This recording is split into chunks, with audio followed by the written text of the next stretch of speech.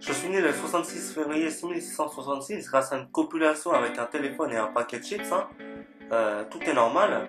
Euh, quand je suis né, j'ai vu des champignons qui pétaient, des ampoules qui éclairaient des pizzas à la chaussette. Euh, c'est mangeable.